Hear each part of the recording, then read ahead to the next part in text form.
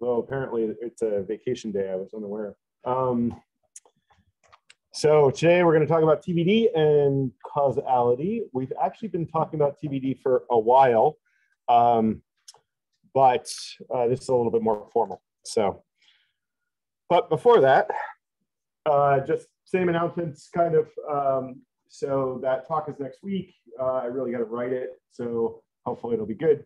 Um, I've only given it a whole bunch of times. Uh, we'll put out project two uh, during class uh, next Tuesday.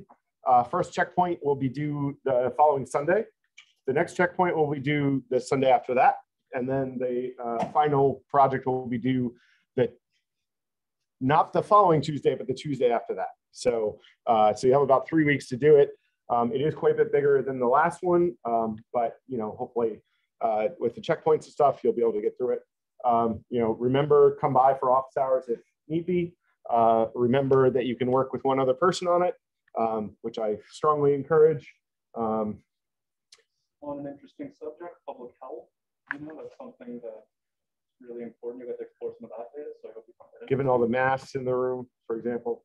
Um, so yeah, it's uh, it's hopefully it's cool. And uh, like I said, if you have questions, either post them in Piazza come by the office hours, uh, etc. as always. Um, you will also have homeworks concurrent and uh, labs concurrent, obviously. Um, and then uh, somewhere in a few weeks, we only, I don't know if anybody else realized this, we were talking about it yesterday or something, but there's only like six weeks left in the semester. So, uh, which is making me nervous about getting a bunch more stuff covered before the end of the semester. Uh, so cross your fingers. All right, any questions? All right. All right, so um, I realized that that I think we've referenced TVD a bunch of times. Um, I'm not sure we adequately explained it. Uh, so I thought we would kind of uh, touch back on an older topic, but to kind of cover that again. Um, so this is the that Alameda County jury pools problem. Um, so we talked about, I think it was, I want to say it was 65 um, is kind of when the event took place. Um, but then there was a more recent study by the ACLU. Uh, anybody know what the ACLU stands for?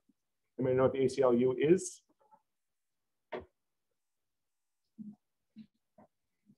So intuitively enough, it's the American Civil Liberties Union.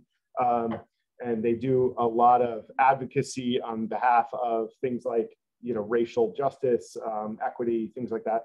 Um, and, uh, but they have subchapters, of course, like every other kind of organization like that so the one in Northern California.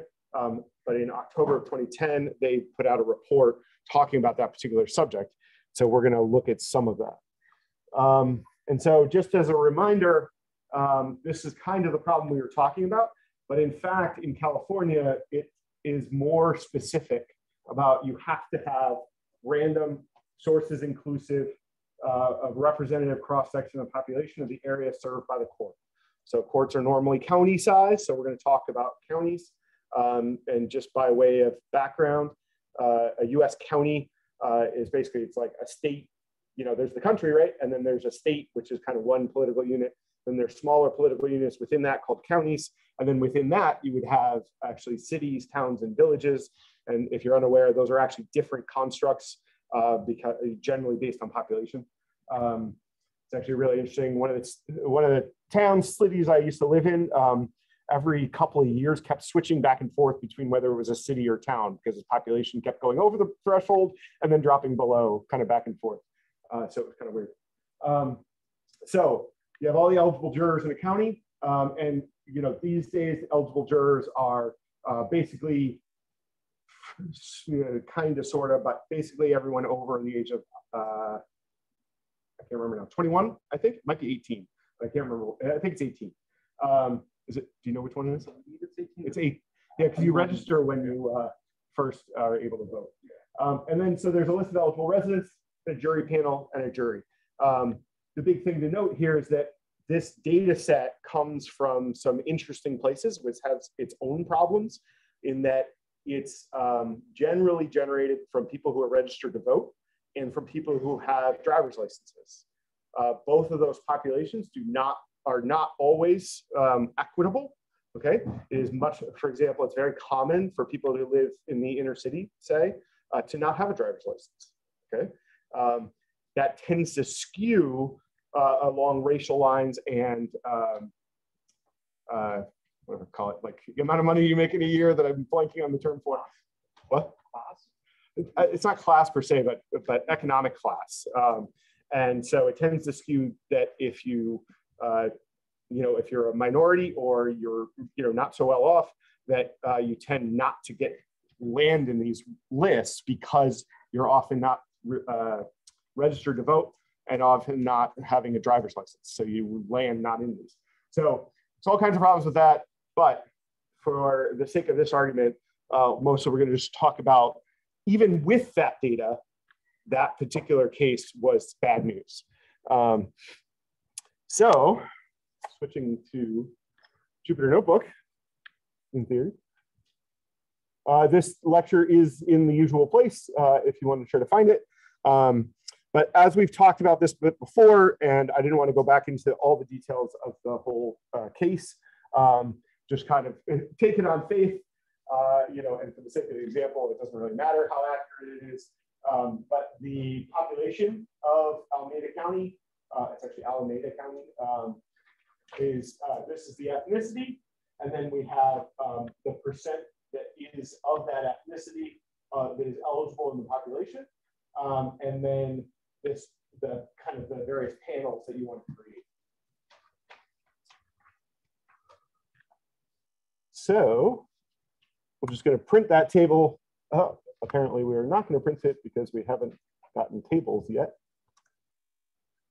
So, um, so if you're if you're pulling those panels out, so this is the observed uh, case, right? This is actually how the breakdown happened. Uh, and so that's where we're going to start from. But what we want to know is, you know, just like I said, I'm just trying to set up the, the scenario. We'll talk about what we're trying to do in a second.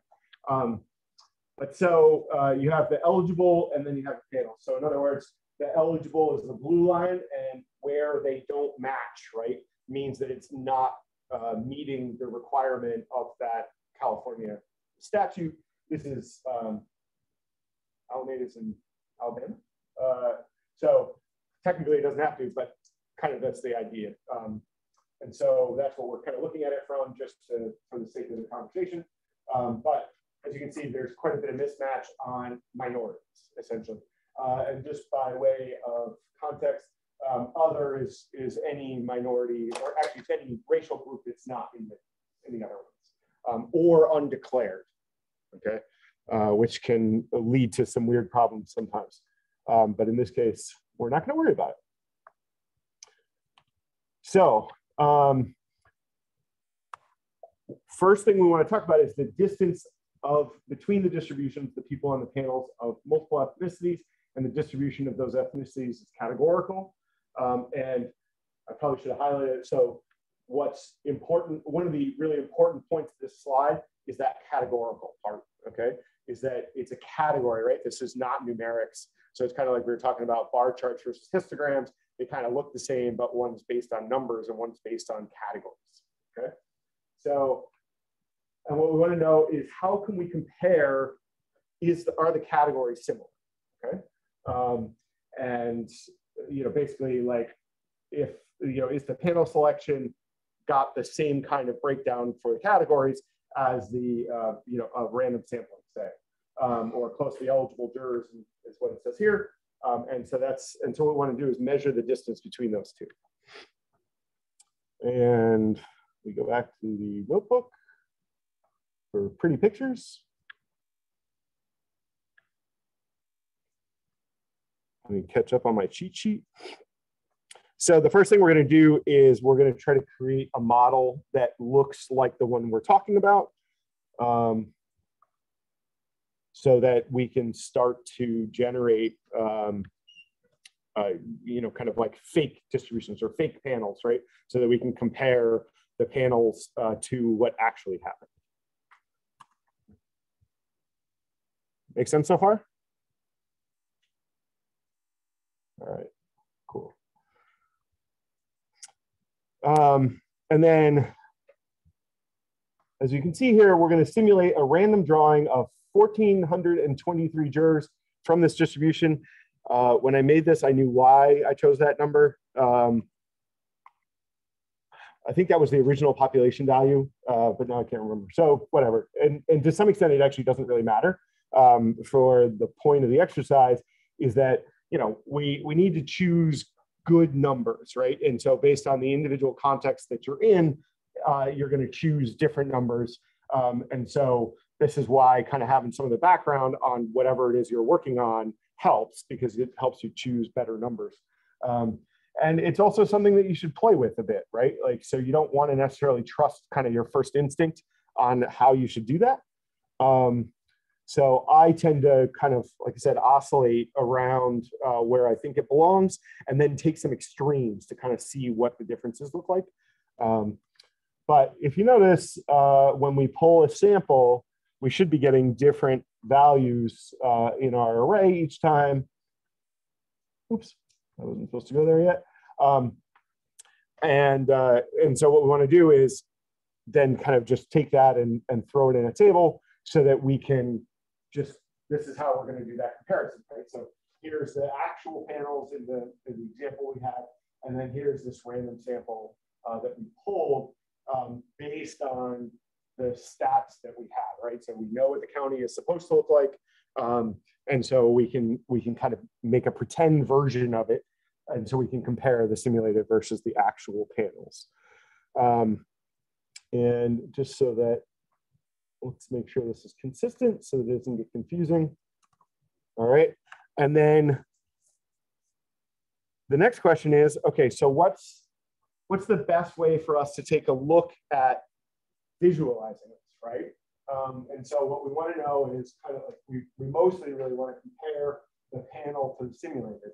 So if we we're going to use a graph for that, what would we use? What would be the best graph to, to do for that?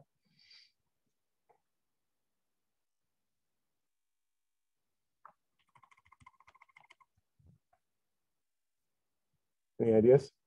I did give a hint earlier.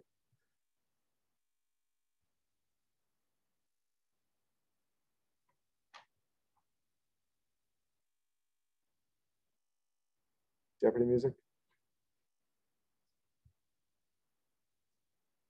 Anyone? Any ideas?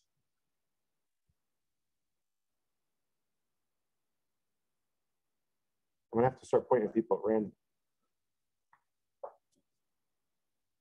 All right, so we're gonna use a, a bar chart for this because it's categorical, right? It's not numerical, so we're not gonna look at a histogram. We're gonna look at a bar chart. Uh, in this case, we're to make it a little easier to read, we're going to use a, a, a, horizontal, not historical, uh, bar chart. Uh, and so we can see here, right, that in the simulated case, um, oh, we got a weird example here. Um, but in the simulated case, right, so what we want to know is like, so we have eligible and then we have the actual, oh no, that was the actual count, sorry. Simulated is the blue, um, and so if you notice, right, the blue is fairly consistently near the black, right? So the, the sample that we're pulling is coming out about the same as the eligible population, which is what you expect, right? The percentage is about the same. Um, but it is quite different for that yellow bar where that was our actual case.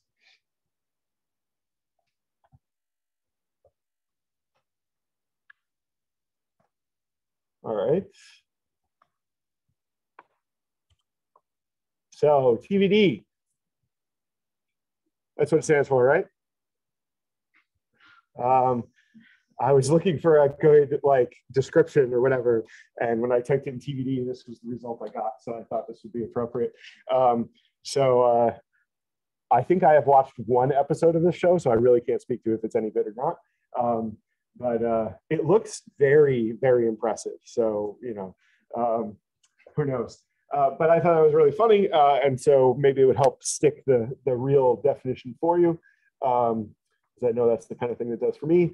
But it's actually the total variation distance, uh, not the Vampire Diaries.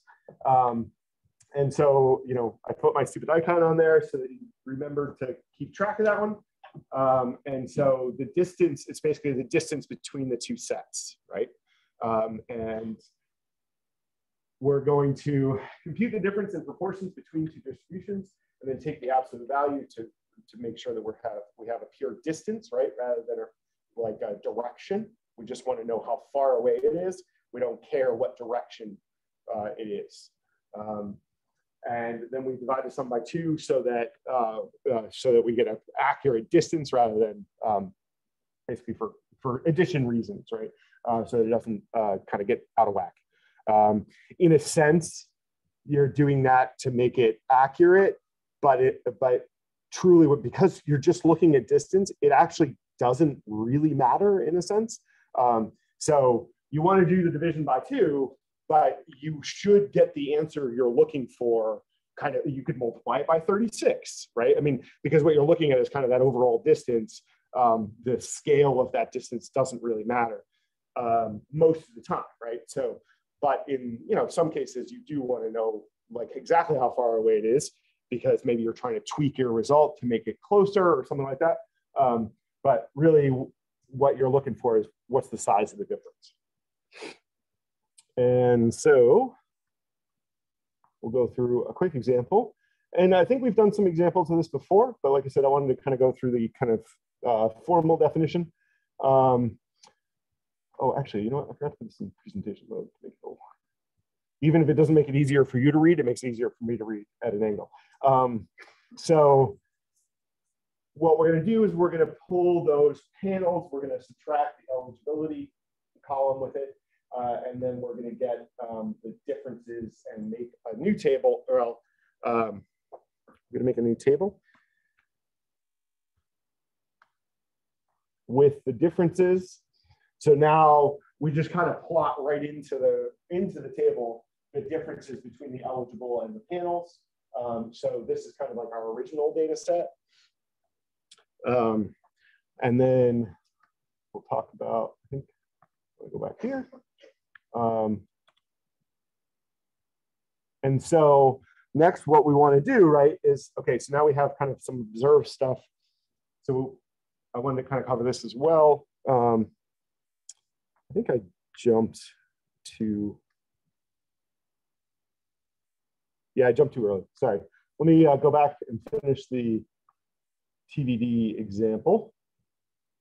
Um, all right, so what we need now is we want to be able to calculate the difference between our pulled sample, right, um, and our panels, like our, our, real world stuff. Um, so in order to do that, uh, to make it a little easier, we want to write a function. Um, so can anybody tell me what uh, the function should look like here? Um, so I'm passing in, you know, because I'm trying to make it generic for this TVD, I'm going to pass in distance one um, and pass in distance two. Um, and you can assume, so distance one, yeah, actually, those are not terribly well named. They should be something like ARR or something in front of them. Those are two arrays. We want them to be two arrays. Uh, so how would I subtract them? Or how would I write this function to get the TVD of, like basically what I want to return is another array with the differences between the two passed in values. So how would I do that?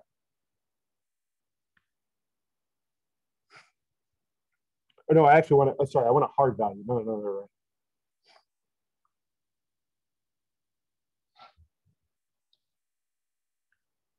Come on, somebody's got to.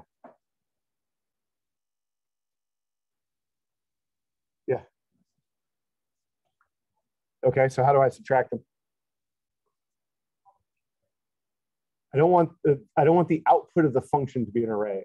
So I want just a hard result between the two arrays. Right.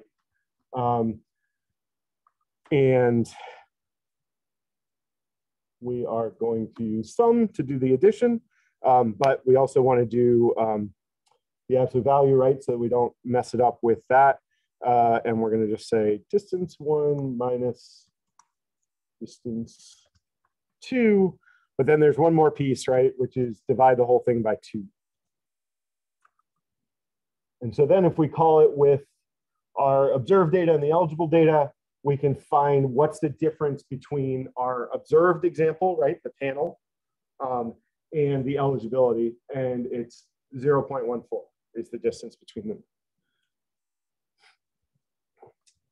So now what we what do you think we want to do next, right? I mean, it kind of tells you, but um, what do we want to do now? Because what we want to know, right, is um, what, uh, like for lack of a better term, like what's the relationship between the observed panels and um, you know, kind of what we should be getting, right? So how can we figure that out?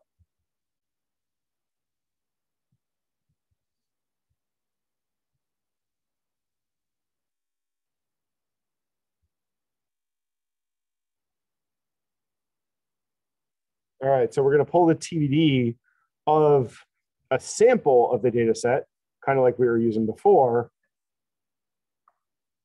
and compare it to the eligibility. So, or sorry, to the eligible population. And so what you should notice, right, is that that is a very much smaller number than uh, the other one, right? Um, so it's quite a bit closer than the uh, actual observed panel. And obviously, if we run this a bunch of times, uh, we're going to get different results, or we should. Sometimes we won't. Um, so now we're going to be doing what we've been doing a whole bunch, um, which is create a function that will kind of do that once, right? So it's basically the same function as the prior line um, or uh, sorry, the same like expression as the prior line, but we're going to turn it into a function because what we want to do is do it a whole bunch of times. So in this case, we're going to do it 10,000 times, but we need a place to put it. So we do this TVDs make array so that every time we go through the for loop, we don't want to just throw out the result. We need to stick it somewhere. So we put it in into this one. And so we then go ahead and call that function, um, and then we append the results, right, uh, into this kind of overall set of the TVDs so that we can see in general kind of what the um, what the uh, what the differences are, right? So now, so now what we're saying is, okay, I got the eligible population. I'm going to run a whole mess of pretend panels against it um, and see how far it, it varies or oscillates away from the eligible population. Uh, and that is done. Um, and then we want to use a histogram to look at the relationship around that eligible population. And in this case, to make things a little easier, we're also going to kind of print out um, the original panels versus eligible um, nearby.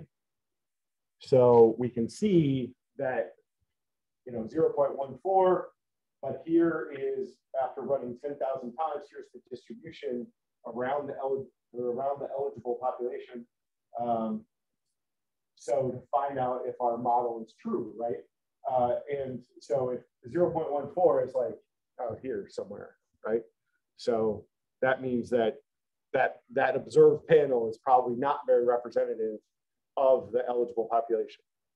Uh, and this is how we can show it by using the, the TVD, which is a way to compare two categorical things or one categorical thing, but from different perspectives, right?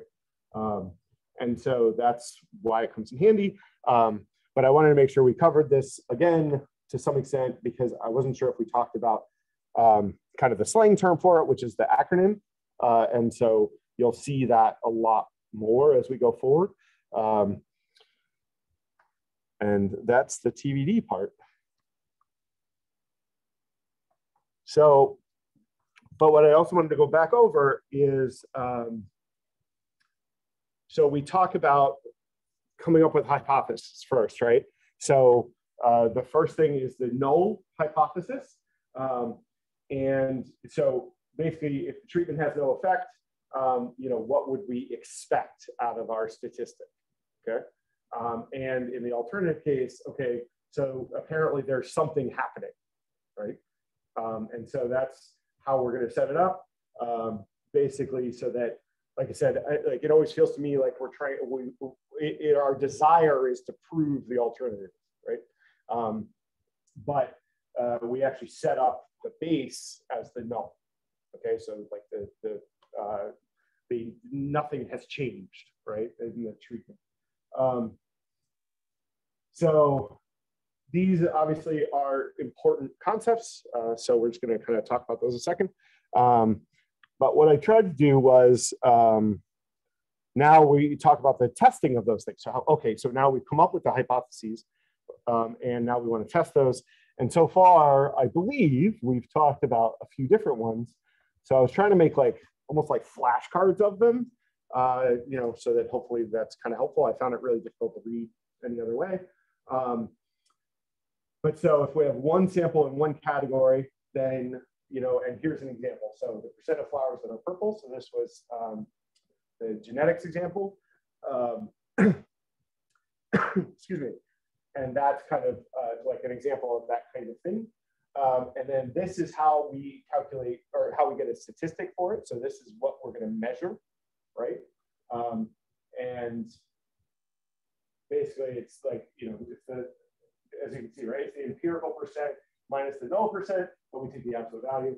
Um, and then uh, and then we try to say, okay, so how do we simulate it? Okay, so here's the Python function that we would use to simulate that. Um, and.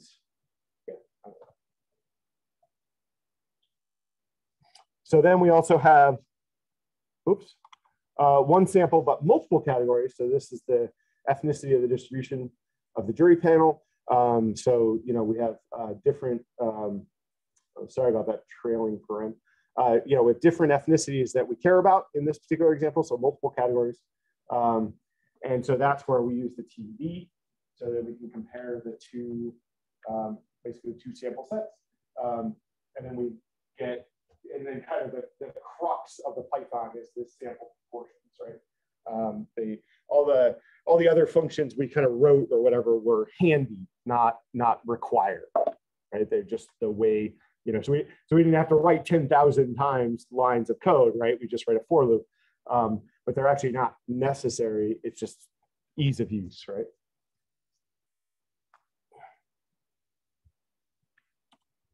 All right. Uh, then we also talked about um, we have one sample with numerical data. So this is like the scores in the lab section. So like um, you know, the score, like grading scores. Um, but this is numerical in, in my mind makes things a lot simpler um, when it's numerical. Uh, and you can kind of take the averages and uh, compare them.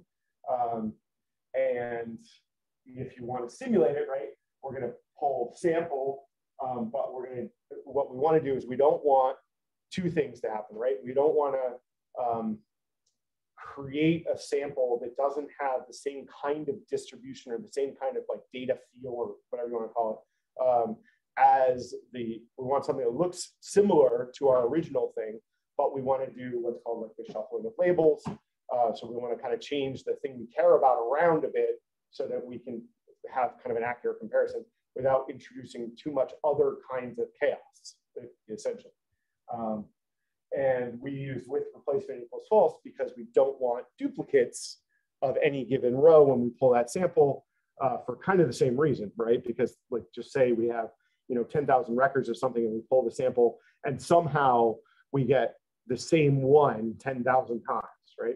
That's going to be as if we just created one from scratch. So it's not really going to be representative of the data set that we were looking at. So that's why we pull with replacement equals false. All right. And then uh, we have two samples with the numerical data. Um, and so this was the birth weights of, uh, obviously, I've not met a lot of uh, children who were immediately born and smoking. Um, maybe you have, uh, but they should probably say birth weights uh, of children born to uh, maternal smokers or non-smokers. Um, and so uh, basically, in a sense, we, we kind of do the same thing. Like we subtract the averages, um, you know, and we pull, we use the same kind of techniques as we do with single, um, but it's obviously slightly more complex because we have multiple samples. All right, does this make sense? All right, uh, let's see. And then I also just kind of threw in, so this slide is basically all the prior ones crashed into one page. Um, so I'm not really gonna go through it, um, but it might be handy. So kind of moving back to causality, um, uh, although this might have maybe, I don't know. So uh, I like this graphic because it kind of says, uh, you know, kind of the steps in our process. Um, you know, so we have our data, right? Um, and then we, uh, you know, try to, uh, we try to sample it, right? We try to simulate it uh, with as much similarity to the real data as we can. Um, and then we can, you know, do things like shuffling labels to simulate testing through the null. Um, and basically the outcome kind of indicates whether or not it's an association or causality. Uh, and so if there's not a lot, right, then we kind of get an association. Um, but if there is, if we were able to pull random data, um, you know, this is the, the maternal smokers thing is a really good example here, where when we shuffle those labels, we discover that there's no variation in, in birth weights, right? Um, but when we uh, use this, you know, we use that smoking versus non-smoking column, we discover that there is a variation. So that kind of leads to causality. Um, you know, our, our little sample may not be sufficient to truly say that, but it's definitely a lot closer uh, than an association um, because when we shuffle it and when we mess with it, right, it, it actually shows that it's the same normally. Okay. So yeah, and this uh, actually I forgot this here. So basically, it's like ultimately you still can be wrong, right? But it tells you which direction you're going, and you you're you're going to be closer. Uh, so you know, if the test favors the null, then the null is true. Um, all the alternative is true. Um, I kind of like this slide, even though I don't think it's actually saying a whole bunch. Um, but the idea is basically like here's how this is how it works, right? Um, and so when you you know you want the test to favoring the null, and then therefore the null is true, right? If it doesn't, then you want to go the other direction. Um, and that's about all there is to it. But at the same time, that's a lot. Uh, so. So what we care about next, I think obviously, is the probability of being in error, right? Is like, okay, so we know we know something and we think we're close. So how can we start to determine like how close are we to being accurate? Um, and so this is where the p-value comes in. Um, and basically it is an error probability, right? So, um, and oh, I thought I said it on here. So the big thing, right, is that you want to pick your p-value before you do your experiment, right? Um, because choosing it afterwards is cheating. Uh, so before your experiment, you want to figure out what your p-value is. Common ones are 5% and 1%. Um, and so if the cutoff is 5% and the hypothesis happens to be true, then there's about a 5% chance that your test will uh, reject the hypothesis. So in other words, when I run those samples, 5% of that population will be wrong. Or sorry, when I say population, like 5% of my results will not be aligned with the, let's say, the null hypothesis um, because random chance, right? But because it's within the 5%, we still call that true or in all likelihood true. Um, and this is kind of where you get to like a lot of the stuff that we're doing is you know it's it's like theories right like we're we're pretty confident you know like the theory of evolution we're pretty confident that's how things work but it's not completely provable. So that's not why that's why it's not a law. Um, doesn't mean that you know just because it's a theory doesn't mean that it's not really really likely. But it's not a law because you can't 100% prove it. Um, this is kind of you know falls out of mathematics, right? Um, and oddly enough, uh, we're going to talk about mathematics in a second. Um, and uh, uh, and then so the p-value cutoff. So um, this is kind of like more, uh, I almost call it slang, you know, uh, but so if you see p-value cutoff, this is what it means. It's not been an observed beta or simulation. Um, you want to decide, oh, I, I knew that line was in here somewhere. Um, but so it's here. um, and typical are 5%, 1%. Um, and basically those numbers are the probability of being wrong when you, you know, sometimes. How often will the, the sample population that you pull out, uh, you know, be uh, opposite of what you're expecting? Um, and then the p-value uh, depends on observed data and simulation. And basically, you know, it's it's exactly the same thing, right? It's the uh, probability that something is going to work uh, or not work, rather. Oh, Go ahead, another slide. Um, so one of the things I wanted to talk about was this is actually a mathematical law. Um, and we're going to maybe talk about some other examples later. Um, so Benford's law, uh, which I, when I when I first heard this, I like struggled with it being true. Um, so Benford's law, Benford's law says that. Uh, so let's ask it a different way. Um, if I have the digits zero to nine, okay, um, and I take a random number. So we pick, you know, I go around the room and I say, pick random numbers. Statistically, the first digit of those numbers, will they be equal? Is there an equal chance that it'll be zero to nine, or let's say one to nine, sorry, zero is not a good example, but one to nine, um, or is there some skew? So does anybody have any guesses? Has anybody ever heard of this?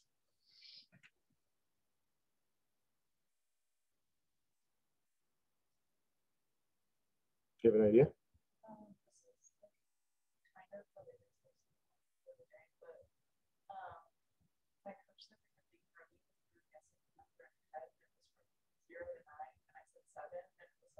Okay. And I feel like it's like more common for people to choose like a higher number than like a average. True. Okay, so you are 100% right, but my example was bad. So when I, I shouldn't have said like asking people in the room, like let me go pull a random data set, right? So it doesn't have humans introducing into the mix. Um, you know, it's like the example I gave a bunch of lectures ago where there's this like set of leading questions and the result will always be carrot. Um, so yeah, 100%, but not what I meant. Uh, so really more like think like a big data set um, and uh, a future example we're going to talk about. Um, but in the case, hmm, I can walk you through it, but uh, I'm just trying to think of a good example. Let's take, um, you know, uh, the population of women in the states of the US, right? Or actually, let's say uh, the, the cities and towns of the US. Okay, so we have a whole mess of numbers. Does the first digit of the whole mess of numbers, do you think it will be more likely to be a one, a two, a three, you know, all the way up to nine? Just the first digit. Any ideas? So I know I always thought uh, that it should be equal, right, between one to nine um, you know, probability being whatever 100 divided by 9 is. Um, however, it's not. Uh, there's actually a much higher chance of it being 1, uh, and then it kind of grades down, and we'll show that in a second. So, um, yeah, let me just kind of go through it. So we're going to take the range of digits, and I'm going to put something else here. Um, and then we're going to get the Benford model here by taking the log 10 of the number and its appearance in digits. So this is a little bit cheating in the sense that we're going to manufacture the, the, the right answer in a sense.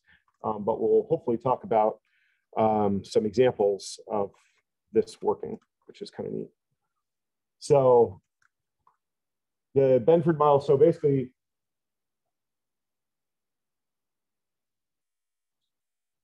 I'm missing.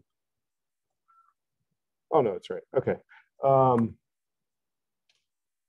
so basically, this is what it looks like. Is that the probability of a one being the first digit is 30%. um, and then it kind of scales down, right? Uh, which I thought was just really interesting.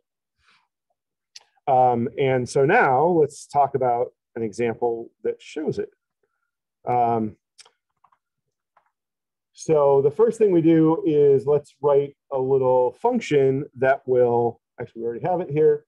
Um, so we have a little function that will, does anybody know how that will work? What happens there? This is kind of advanced Python. Yeah. Right.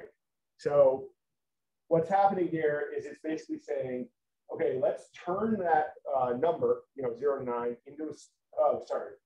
Um, turn the number, not to, uh, like it could be any number. Uh, and it'd be more interesting if it's bigger than zero to nine. Take that number, turn it into a string. So now it's, it's letters, right? But it's still, you know, if the number was one, two, three, four, five, it's still one, two, three, four, five, but now it's a string, right? So then what we do is the square brackets there are shorthand for saying dot item paren number. And so we say zero, which is the first position. And so we get the first character, which is, uh, you know, in my example of one, two, three, four, five, happens to be one. Um, and then it turns it back, that piece, right, back into a number. And now we have the number one. So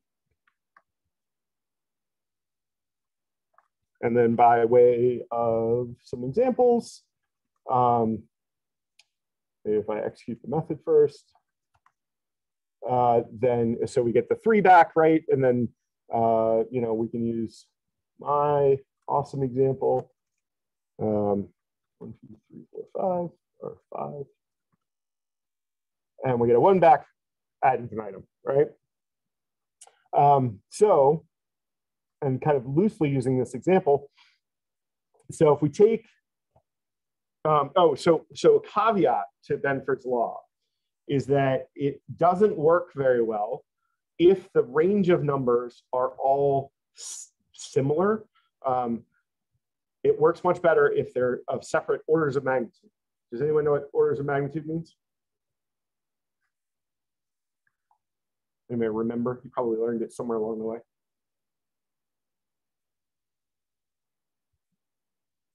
Anyone? What is magnitude?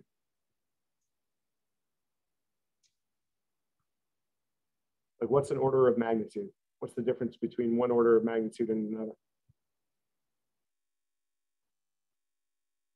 All right, so basically it's like the number of zeros. So, uh, you know, 10 is one order of magnitude away from 100, which is an order of magnitude away from 1,000, order of magnitude away from 10,000.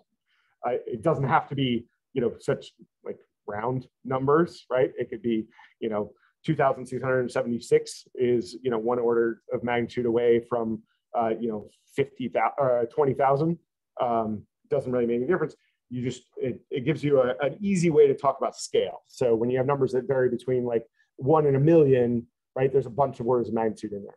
But if you have numbers that vary between 7,000 and 9,000, they uh, there's only one order of magnitude there. So Benford's law uh, doesn't work nearly as well when the when it has all the same order of magnitude. So in other words, it won't work very well if it's seven to eight, seven thousand to eight thousand, or seven thousand to nine thousand, but it'll work much better if it's seven thousand to two million. Follow? Okay, so the reason we can get away with counties here is because uh, in the US, counties actually vary in size quite a lot. Um, and so unlike other kinds of units uh, of population, um, you know, you, this may or may not be a surprise to you, but counties tend to vary a lot. So, uh, so what we want to do is we want to look at that census data that we looked at a while back, um, which is in that county CSV, um, and we're just going to pull out some of the data of it and don't worry too much about like, uh, actually, no, everything in there we've used before, sorry. Um, so it's gonna pull out that SUMLEV, uh, which happens to be a column that has, uh, you know, particular kind of data in it. Um, and then we're gonna pull out the state, county, and the population for each one.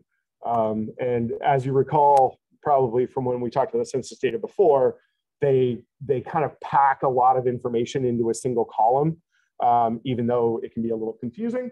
Um, so we're just trying to make a, a simple version of that data by pulling out the state and then the county and then the population of it. But even here in this example, you can see um, there's at least, I think, two orders of magnitude. Yeah, two orders of magnitude, right? There's kind of the 10,000 range, right? And then the 100,000 range. Um, so obviously it can, it fluctuates quite a lot. So we can look at that and then we can go from there. All right, does anybody remember how, all right, you got really got to answer me this time because we're just killing time waiting for you. Uh, does anybody remember how we would get all of the first digits of the population from that table?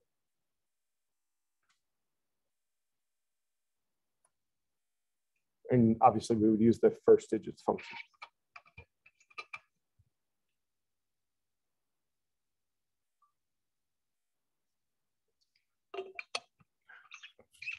So if you recall, we have a, um, a technique that we can use. Yeah. We can use apply. So can you give me more of it? Like what, what would, what would I write?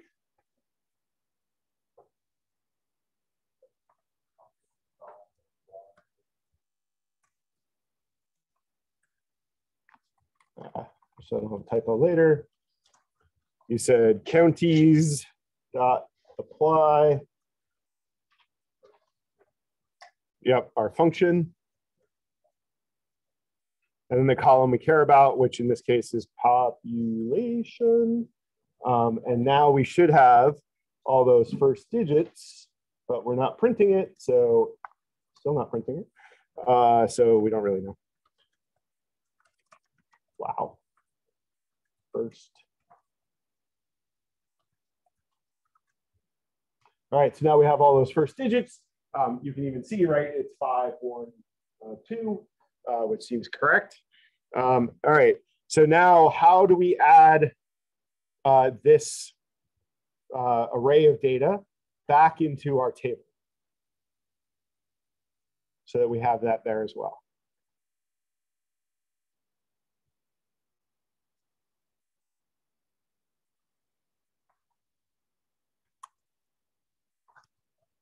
Yeah, go ahead. With column. So we do counties equals counties. Um, and we say with column. And so we're just going to give it a, kind of an arbitrary name. We're going to call it first digit. And remember the singular uh, versus plural thing that I said, you know, column names should be singular, even though it seems like they should be plural. Um, and then first digits. The more consistent you can be, uh, the more likely you are to not make mistakes. Um, and then we can do counties. So brilliantly enough, we get what we were looking for, right? First digit is now in the table along with the uh, the actual population in the counties. Um, so then, let's see. So then what we want to look at is, okay, so um, now we want to know, you know, basically, did it work, right? So we want to look at the proportion of, um, yeah, okay, so now we want to look at the proportion. Sorry, I'm reading my cheat sheet. Um, look at the proportion of the uh, of that first digit column, um, you know, kind of against uh, the Benford's uh, law set, uh, and then kind of compare the two uh, so that we can see how it kind of performed, right? Um, and so this is a little complicated, um, but I don't think it's terribly complicated. Uh, but so what we do is the first thing is we're going to group by that first digit, right? So that we can get uh, all the ones together, right? Um, then we want to take uh, that column and that count now, right? And divide it by the overall number of counties so we can get a proportion uh, or, or, yeah, proportion. Um, and then create essentially, yeah, a new table that's by digit. We're going to add in some other columns of the proportion and the Benford proportion, um, and then display it as a bar chart. But before we display it, I just want to show the actual data so you can kind of see the result. Um, or we can have a bug.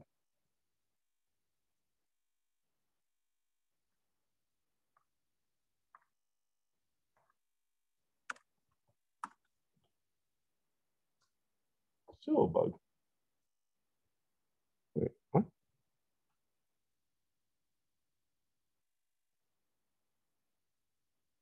Oh, sorry, I missed a line. Um, actually, here's a, so we need to be able to divide it by the total number of counties. Um, how do we get the total number of counties? If we have a table full of all the counties,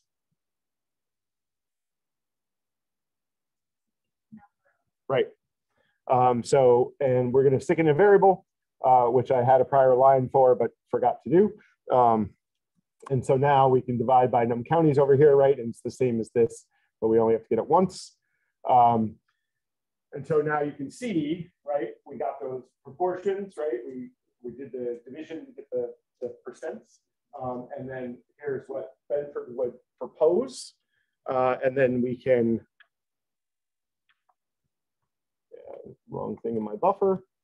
Um,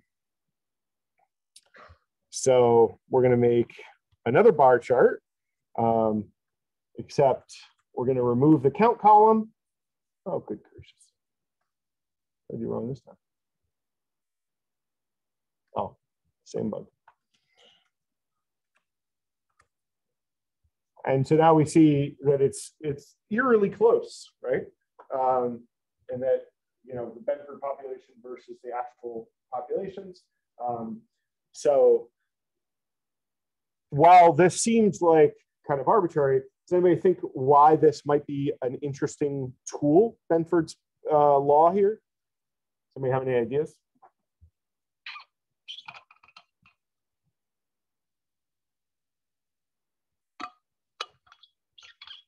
So what it's commonly used for is to kind of uh, get you a feel of accuracy. So in other words, let's say all those counties did not conform to this proportion. What might that tell us? Assuming that we know in advance that they're all the county populations are orders of magnitude separated.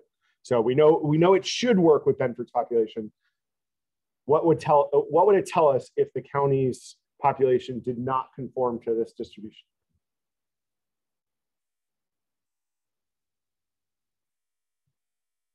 Any ideas?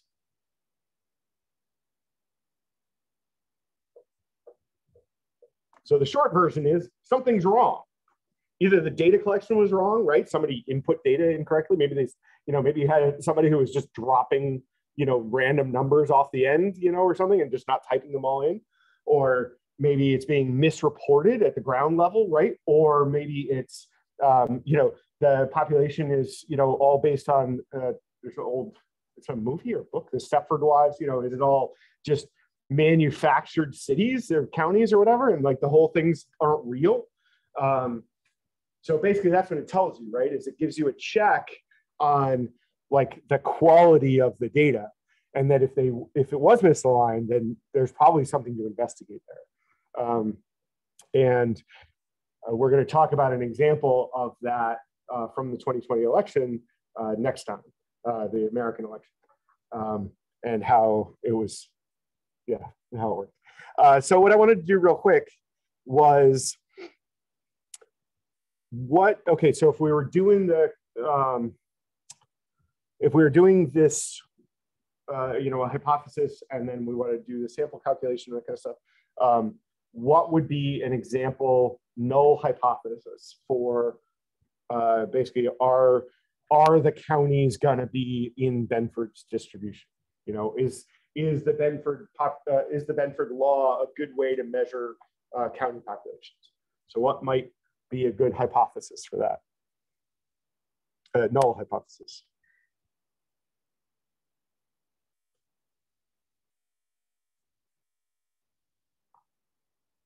No, no math, no programming here, nothing, just pure straight, you know, English. What would you, what would you say for the null hypothesis?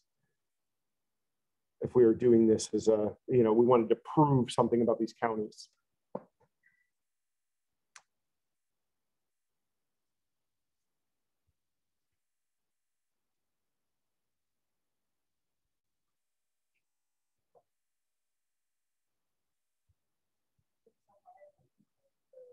Sorry.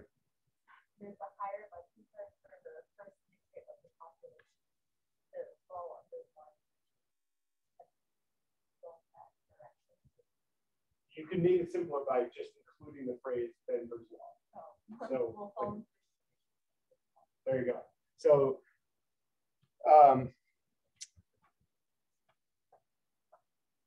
so yeah, so basically in short, right? Um, the, here, we'll even like type it in. Um, so the distribution of county population will follow Benford law, right? All right, so what would be the alternative hypothesis?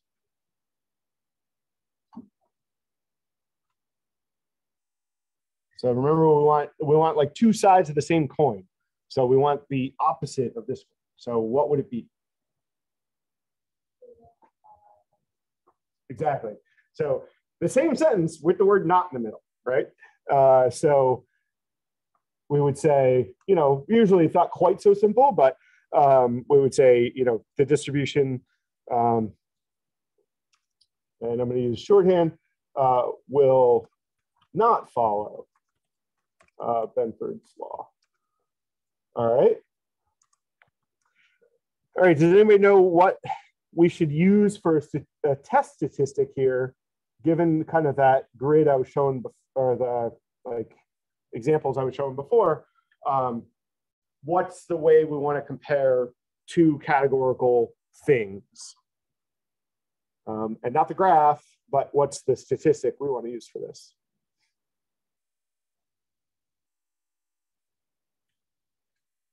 It has to do with mythical monsters. Theoretically mythical. No one knows. TVD, right? So um, you want to take the TVD for, you want to use TVD to basically do this comparison uh, so that uh, you can kind of say, okay, we have the county stuff and we have the uh, Benford's law, and we want to know if it's accurate.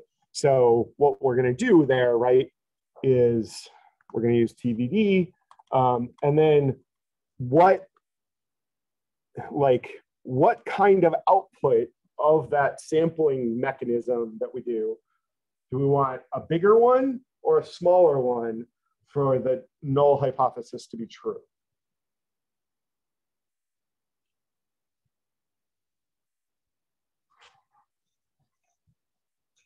Any ideas? This is definitely the hardest of the bunch of these questions.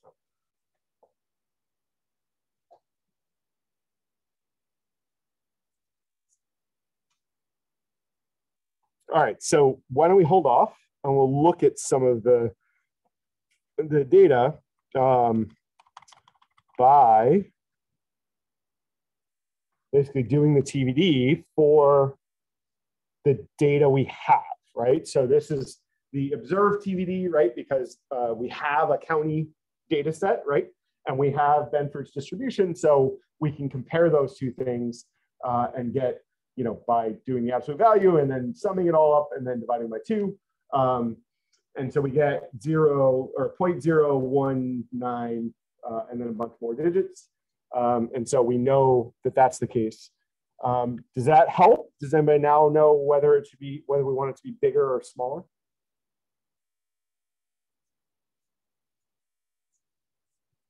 Yeah. I don't know, would be like-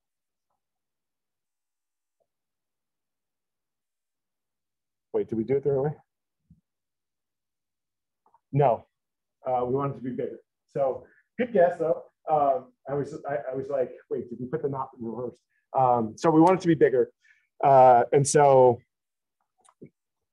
we can kind of use our prior function and, or sorry, use the sample function to get more county data, right? Um, and then we can start to do our simulated frequencies, right? Just like we were doing before, uh, and get the TVD out of it uh, by doing the, you know, the sampling. And then, as you can see, we still have a pretty small number, um, 0.02. Um, and then obviously, if we run that a bunch of times, we'll get a bunch of different outputs um, because it's pulling random data out. Uh, but then, you know, we can do our typical for loop and get something fancier, assuming don't typos. Oh, I forgot to make the function first. Um, because what we want to do is we want to make a function that does exactly the same thing, right? But now we want to be able to call it 10,000 times. So we don't want to write it 10,000 times. So we write a function that does it instead. Um, and then we can look at the whole thing as a distribution, uh, uh sorry, as a histogram and see how we did.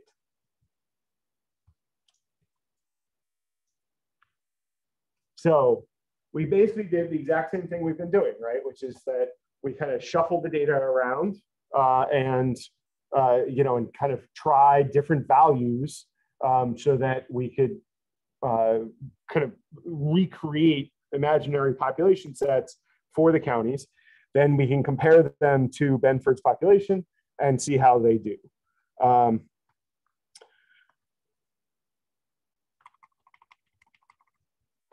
and so